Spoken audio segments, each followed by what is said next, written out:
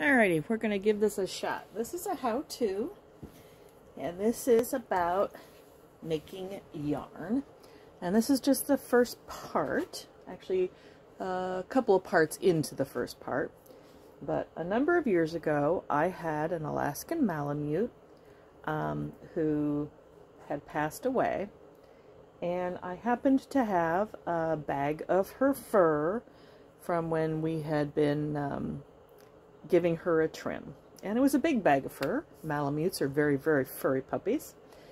And I came across the idea of knitting a sweater for one of our other dogs who had grown up with her, who is a smooth-haired dog um, with all of her fluffy fur. And I thought about sending off her fur to be taken care of, and then I read into the process and decided that this was something that I could probably do on my own.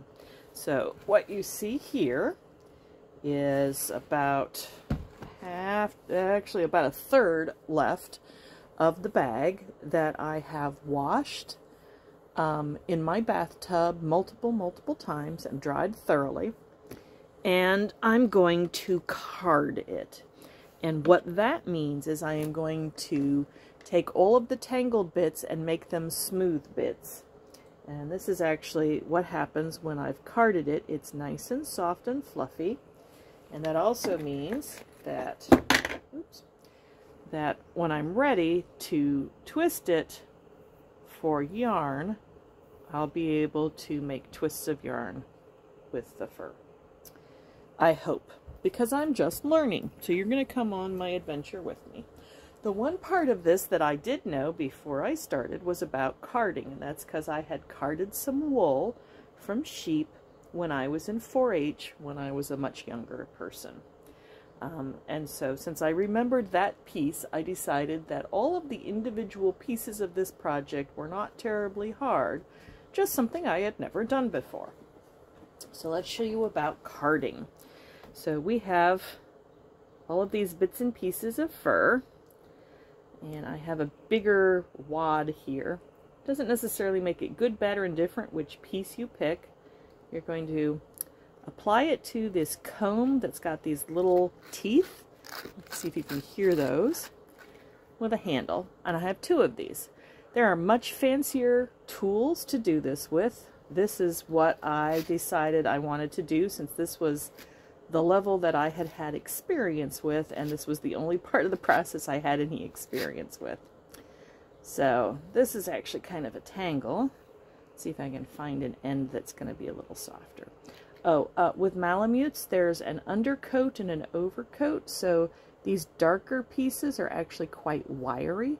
Um, because I'm making yarn for a project for another dog, I'm not as concerned about those wiry pieces being itchy as I would for if I were trying to make a sweater for a person.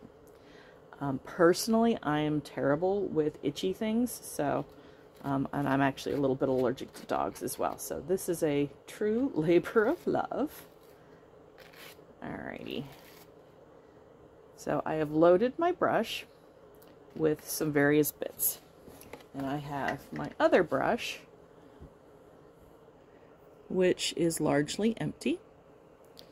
And I am going to put the two together in opposite directions and comb.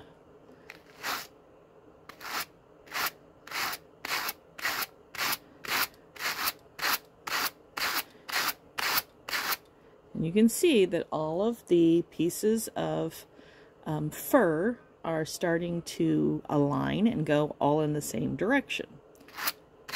I'm pulling out tangles.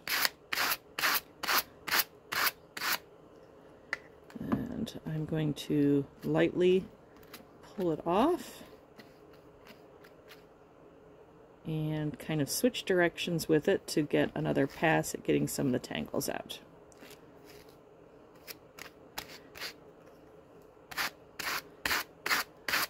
And I may not even be doing this even approximatingly correctly. This is just what I learned to do with sheep wool way, way back in the dark ages of my youth probably about 1983, 82, somewhere in that time frame.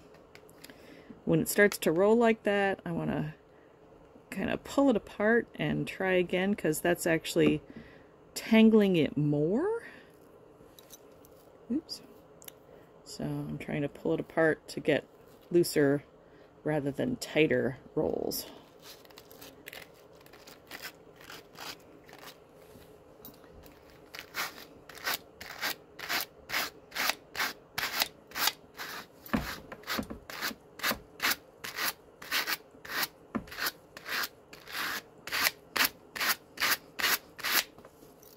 And when this one comes clean and this one's full, I can pull up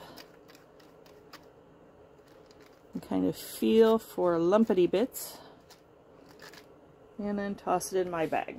So this is the bag of the soft stuff that I have already done.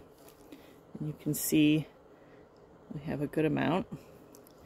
And I'm going to start learning to spin soon, so we'll see if I can do another video when I figure that out and see if I can fail to fail. Um, in any case, uh, check in on me periodically. We'll see where we are on this project. Talk to you later.